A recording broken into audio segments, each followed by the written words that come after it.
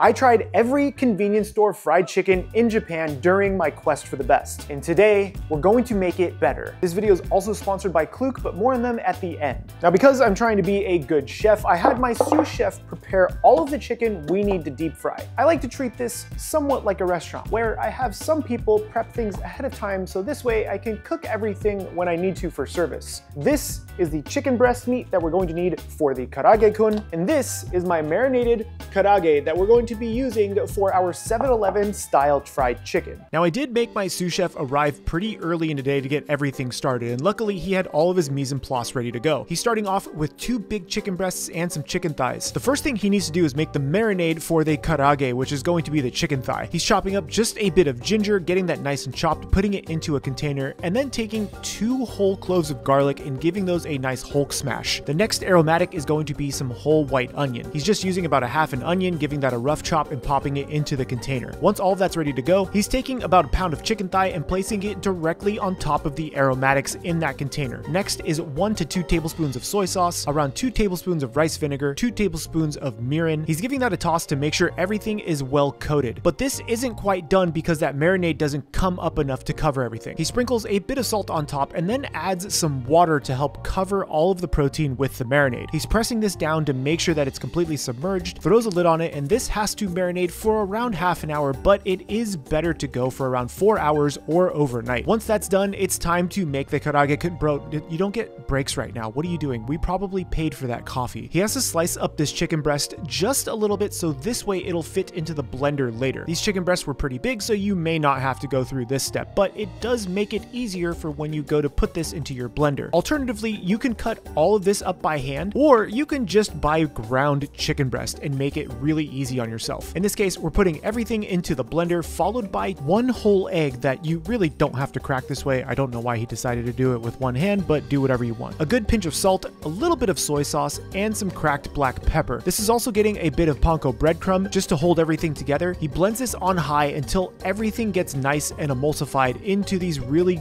gooey balls of mess. This gets put back into a container, and because this chicken meat was a little sticky, he had to add a touch more panko breadcrumb to really start absorbing some of those liquids so it is easier to form when we go to deep fry these. This sits in the fridge for another half an hour before we get to use it, and it will be ready for chef to come and start frying some stuff. You see, the sous chefs are the ones who make everything happen. Honestly, I don't know what I would do without him. You're the best. I love my sous chefs. Now, because the 7-Eleven style chicken won't take too long, I'm actually going to start portioning out karaage-kun. I absolutely loved this version of it because it was like eating really good chicken nuggets. I don't know why I walked over there. I need a spoon from over here. All I need is my chicken mixture that my sous chef had prepped earlier and a bunch of panko breadcrumbs. I'm gonna start off with half just in case I don't need everything so I don't have to waste any. Breadcrumbs get seasoned with a bit of salt, and some fresh cracked black pepper. Give this a nice toss, and if you really want to, you can taste the breadcrumbs right now, and if it has a nice seasoned flavor to it, you're good to go. Otherwise, add more. That's good. Now you can see why I had my sous chef prepare this ahead of time. Earlier, it was really, really wet and hard to work with, but now that it's sat for about an hour, this is really nice, and we can actually mold this into our little chicken balls. Why would I say that? This is a professional kitchen. I'm going to try to evenly portion each of these out to maybe, I don't know, two ounces each, but that's realistically what you want them to look like. Nice height, nice chunkiness to them, and that's pretty much it. Give these a quick little roll to make sure they're nice and tight, drop it into the breadcrumb, and just kind of toss it around a little bit. Once it's in the breadcrumb, I do like to press it again, and there is our karaage-kun place this right there. I'm going to repeat the process for each and every one of these, trying to keep them as even as possible. And if they're a little bit bigger or a little bit smaller, it's gonna be okay. I was able to get about nine karaage-kun balls out of this. Admittedly, they're a little bit big, but that's okay. We like our protein. Now because I am one smart cookie, I had my oil for deep frying heating up ahead of time. But you see that right back there? That air fryer in the corner? These are delicious in the air fryer. The only thing you would need to do is put in a little bit of oil into the breadcrumb and they fry up so nicely in the air fryer. But because we are making the best version of Japanese karaage, we have to do fried. I like to make sure that my oil is around 350 degrees Fahrenheit, so this is actually a little hot, but that's okay because once we put in the chicken, it will cool down a little bit. The biggest reason is because these are pretty thick, and if you have them too thick, they won't fry up evenly. The outside will be far too cooked before the inside is. So we're just gonna go, you know, we're gonna go with everything. I am shallow frying these versus deep frying, so this way I don't have to use a ton of oil. Oh, it's gonna be so good. Now these are probably going to fry for about seven to eight minutes. You wanna make sure that the outside is nice and golden brown and the inside is fully cooked. This is why you don't want it to be too hot, otherwise it will get too brown without cooking that inside. Now after around five minutes, these look like they're ready to go. They're nice and golden brown. I'm gonna remove these and place them onto this wire rack to not only cool down because they're extremely hot, but also to drain any excess oil because you really don't wanna eat any of that. Oh, these look so good. If you want a macro friendly version, put these in the air fryer. Seriously. Air fryer, macro friendly, I, what else do you want? This is what they look like. I'm gonna leave these not where Gandalf can get them. We're gonna put them back here just to cool down while we fry up the second one. Now what's interesting is that this version is actually an entire chicken cutlet, and in this case it is the chicken thigh. This goes into a combination, half part cornstarch or potato starch and half part flour. The cornstarch and potato starch can get it super, super crispy, and the flour can actually help protect the chicken while it cooks. I did also season this mixture ahead of time with just a pinch of salt, but no pepper this time. Now this bad boy, once it's all dredged, goes right into the oil. I'm gonna dredge the second one right away so this way they cook around the same time. Oh God, I have to get this in the oil. Hold on. Oh God, cleanup mission. No, Gandalf, don't eat the flour. Gandalf, no, don't eat that. Your poops are gonna be like little projectiles. I have my oil around the same temperature, around 325, and we're just gonna cook these until these are beautifully golden and then cool them down before we bite into them. The one problem is that with this style of chicken in particular, you can't throw this in the air fryer. The potato starch and flour actually doesn't work that well in the air fryer compared to the breadcrumbs. But you could take this chicken with the marinade and do an egg wash station and then cover it in breadcrumb and then throw that into the air fryer. It's a great solution if you don't want to deep fry anything. After about two minutes, I'm going to flip the chicken. This will need another flip because it's not completely done, but I'm mostly doing this so this way I can get that flour and that cornstarch to set. This still has to go for a few more minutes, so I'm gonna come back and we're gonna see this done.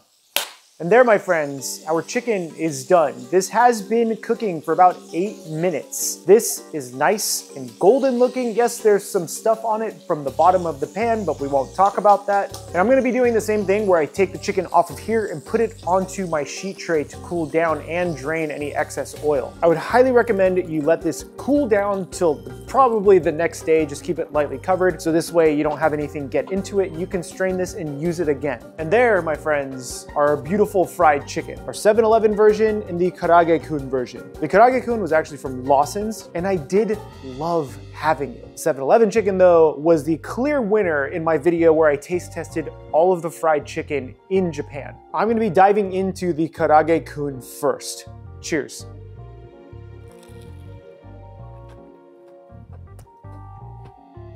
Look at the filling.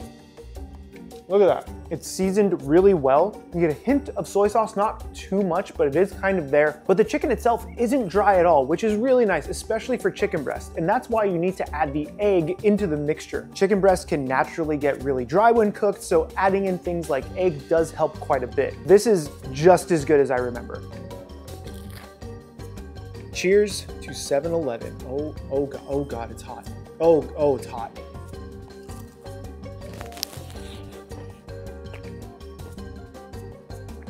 Look at that. Beautifully juicy, still super tender. You can taste a little bit of the rice wine vinegar, a little bit of the mirin, a little bit of the soy sauce. Some of the aromatics come through like the onions and the garlic and ginger. This is delightful. Mm. But still, I have one big problem with the ultimate Japanese fried chicken. Is it delicious? Yes. But this did take about two and a half hours to make. It also cost about $30 to put together. My local grocery store only had chicken in the most giant packaging, so this may differ for you. And is the experience of eating this better than the experience of having this on the streets of Tokyo after having a couple of drinks in front of a 7-Eleven? No. $2 karaage-kun or 7-Eleven fried chicken on the street when you really want it, or the homemade version. I have arguments for both. I agree. I can make a bunch of this and it'll actually be cheaper in the long run, but I loved that atmosphere and that feeling.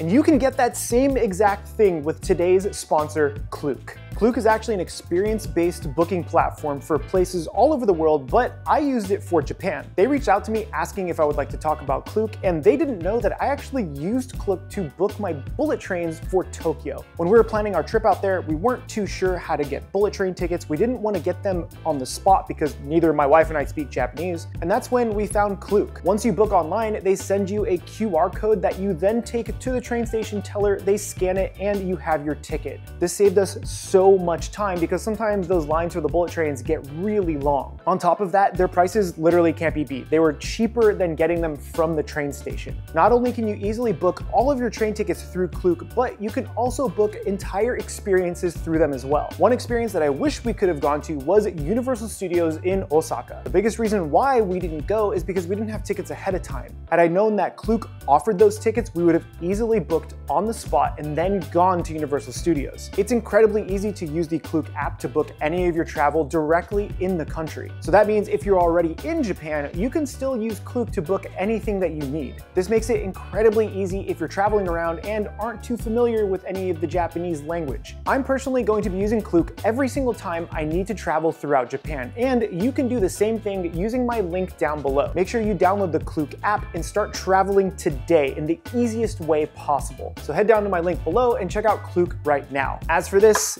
is it the ultimate fried chicken ever as many people would claim? It depends. I'd rather have mine on the streets of Tokyo, but this is pretty good. My name is Chef PK and remember, keep playing with your food.